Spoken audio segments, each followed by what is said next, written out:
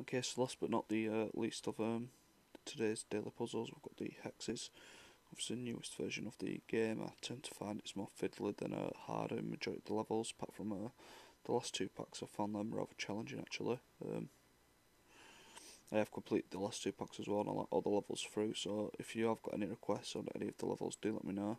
Um, same with any other versions. You know the version you're after, the uh, pack you're on, and the level which you're stuck on, and I'll be able to get something up for you.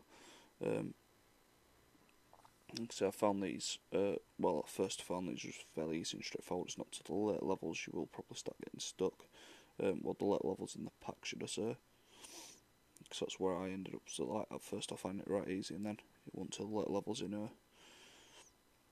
the sort of the last two packs that I actually ended up getting stuck anywhere throughout it. Okay, going straight over the top, orange just following this through here, pink's looping around there, and red's going right around the top, but it didn't let me grab the red there, grabbed my, uh, where my camera would be. This should give us, yep, last level, right, okay. Da -da -da. Red will go through here.